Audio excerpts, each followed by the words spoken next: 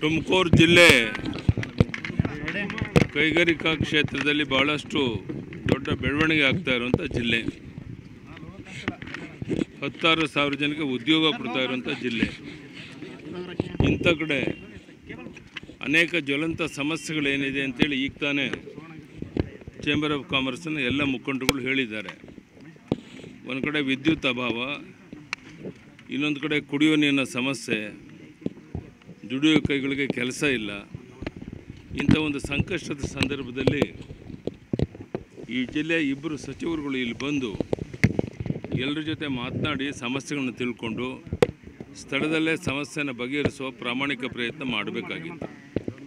ಆದರೆ ಒಂದು ರೀತಿ ಸರ್ಕಾರ ಬದುಕಿದ್ದು ಸತ್ತಂತಾಗಿರುವಂಥ ಒಂದು ವಾತಾವರಣ ಇರುವಂಥ ಈ ಸಂದರ್ಭದಲ್ಲಿ ನಾನೇ ಖುದ್ದಾಗಿ ಬಂದು ಈ ಸಮಸ್ಯೆಗಳೇನು ಅಂತ ತಿಳ್ಕೊಳ್ಳುವಂಥ ಪ್ರಯತ್ನ ನಮ್ಮೆಲ್ಲ ಮುಖಂಡರ ಜೊತೆ ಮಾಡಿದ್ದೇನೆ.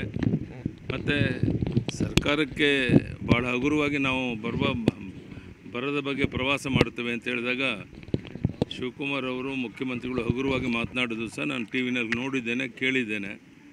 ಆದರೆ ಅವ್ರಿಗೆ ಇಷ್ಟೇ ನಾನು ಹೇಳುವಂಥದ್ದು, ಇವತ್ತೇನು ವಾಸ್ತವಿಕ ಸತ್ಯ ಸಂಗತಿಯನ್ನು ಚೇಂಬರ್ ಆಫ್ ಕಾಮರ್ಸ್ನ ಕೆಲವು ಮುಖಂಡಗಳು ಹೇಳಿದ್ದಾರೆ. ಇದು ನಿಮ್ಮ ಕಿವಿಗೆ ಬಿದ್ದಿದೆ ಅಂತ ನಾನು ತಿಳ್ಕೊಂಡಿದ್ದೇನೆ. ಈಗಲಾದರೂ ಈ ಸಮಸ್ಯೆಗೆ ಸ್ಪಂದಿಸಿ ಆ ಸಮಸ್ಯೆನ ಬಗೆಹರಿಸಬೇಕು. ವಿದ್ಯುತ್ ಕಣ್ಣು ಮುಚ್ಚಾಲೆಯಿಂದ ಕೈಗಾರಿಕೋದ್ಯಮಗಳು ಬಾಗಿಲಾಕುವಂಥ ಸ್ಥಿತಿಗೆ ಬಂದಿದ್ದಾರೆ. ಒಂದು ಕಡೆ ವಿದ್ಯುತ್ ಅಭಾವ, ಇನ್ನೊಂದು ಕಡೆ ವಿದ್ಯುತ್ತನ್ನು ಇರೋದಕ್ಕಿಂತ ಬಹಳಷ್ಟು ದೊಡ್ಡ ಪ್ರಮಾಣ ಏರಿಕೆ ಮಾಡಿರುವಂಥದ್ದು.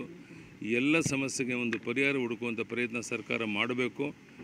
ಇಲ್ಲಿ ಇದ್ದರೆ ನಾವು ಸಹ ಬೀದಿಗಿಳಿದು ಹೋರಾಟ ಮಾಡೋದು ಅನಿವಾರ್ಯ ಆಗುತ್ತೆ. ಈ ಎಚ್ಚರಿಕೆಯನ್ನು ಸಹ ನಾನು ಮುಖ್ಯಮಂತ್ರಿಗಳಿಗೆ ಮತ್ತು ಉಪಮುಖ್ಯಮಂತ್ರಿಗಳು ಕೊಡೋಕೆ ಇಚ್ಛೆ ಪಡ್ತೇನೆ ಪರಿಹಾರ ಪರಿಹಾರ ಕೊಡಿಸಿ ಅಂತ ಅವ್ರು ಬರ ಅಧ್ಯಯನ ಮಾಡಬಹುದು ಪರಿಹಾರ ಮಾಡಬೋದ್ರು ಕೊಟ್ಟೇ ಕೊಡ್ತಾರೆ. ಅಲ್ಲಿವರೆಗೂ ಕೆ ರಾಜ್ಯ ಸರ್ಕಾರ ಹಣವನ್ನು ಬಿಡುಗಡೆ ಮಾಡಿ ಕೆಲಸ ನಾವು ನಮ್ಮ ಕಾಲದಲ್ಲೂ ಅಧಿಕಾರದಲ್ಲಿ ಇದ್ದಾಗ ಬರ ಬಂದಾಗ ಅತಿವೃಷ್ಟಿ ಆದಾಗ ಅವರು ಬಂದು ಹಣ ಕೊಡೋವ್ರಿಗೂ ಕಾಯ್ತಾ ಇರಲಿಲ್ಲ. ನಮ್ಮ ರಾಜ್ಯ ಸರ್ಕಾರದಿಂದ ಹಣವನ್ನು ಕೊಟ್ಟು ಕ ಕೆಲಸ ಮಾಡ್ತಾಯಿದ್ದು ನಂತರ ಬಂದ ಮೇಲೆ ಅದನ್ನು ಹೊಂದಿಸ್ಕೊಳ್ಳುವಂಥ ಪ್ರಯತ್ನ ಮಾಡಿದ್ದು ಆ ಕೆಲಸವನ್ನು ಈ ಸರ್ಕಾರ ಮಾಡ್ತಾ ಇಲ್ಲ. ಮಾಡಬೇಕು ಅನ್ನೋ ಒತ್ತಾಯ ಮಾಡ್ತೇನೆ. ಧನ್ಯವಾದ. ಯಾವ ರೀತಿ ಹೋರಾಟ ಇರುತ್ತೆ?